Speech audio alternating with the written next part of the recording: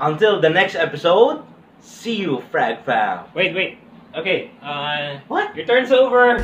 Thank you. Thank What? you very much. What the Uh, hell? that, that, that What? has Lover's That's Tale. my butt. By the way, by the way, the review for Lover's Tale, I'm gonna be linking it down below. But right now in my channel, I'm gonna be bringing you a new. I, I can't say it's very new, but it's a fairly new gourmand fragrance that's been very underrated and under under talked about in the fragrance community. It's nothing but Polo Red Extreme. Let's get this started. Here are a few things that you need to know about Polo Red Extreme. First one, this one is a flanker of Polo Red and Polo Red Intense. And as far as I can remember, the Polo Red series is uh, coffee centric. Now, on how this this one smells like, Polo Red Extreme, it actually smells like, as I've said earlier, coffee. It's coffee dominant. It also has this fruit notes of, uh, I'd say, blood orange. Yes, uh, it's, I'd say blood orange is just a little thicker. It's a little sweeter. It's a little more syrupy than your normal orange.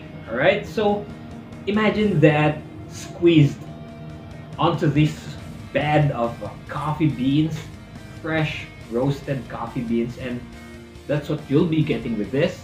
Valentino Uomo comes into my mind when it comes to coffee scents. I think Valentino Uomo has this coffee cream iris um, scent profile. However, this one is more brash. This one is more aggressive. This one is more masculine. It's full of testosterone. If you're looking for masculine coffee fragrance, this one is for you. Now, going onto the bottle, as you can see, very simplistic.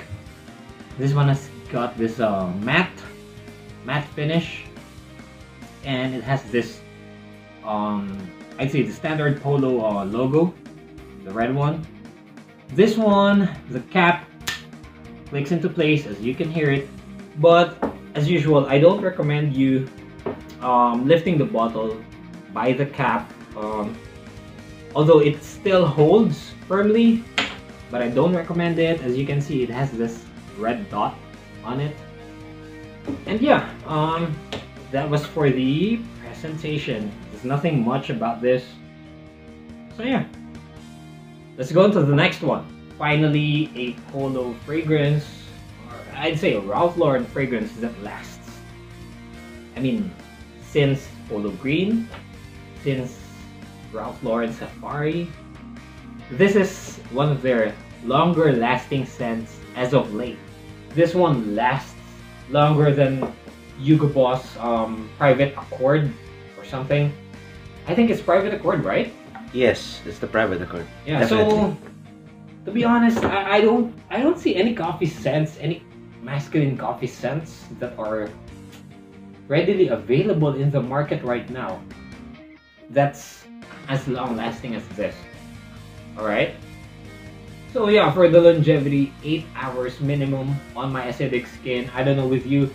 Most probably this would last longer on your skin. Alright?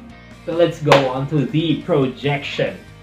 Needless to say, it's an de parfum concentration and this one it projects. I tell you, it projects. More so in the first two hours. This would I think this would choke people out, man. If you're if you're commuting, you're taking well here in the Philippines we've got the jeepney, as you can see right here. We've got the MRT, the LRT, the public transportation. You could choke people out with let's say three sprays of this, you'd choke people out, man. It's got a vicious projection. Very underrated, by the way. There's not a lot of reviewers reviewing this one, exposing this to you. Masculine coffee fragrance. This one projects a lot. And I mean a lot. Being a Ralph Lauren fragrance, I think it does a good job. Albeit it is uh, a little synthetic.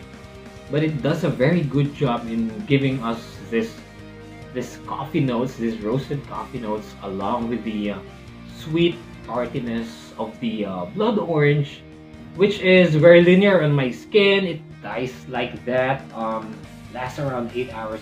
Projects like a monster. So yeah, be careful with the trigger. You might choke people out. So yeah, you've been warned. Next one that we have is this worth it? Is it worth the money?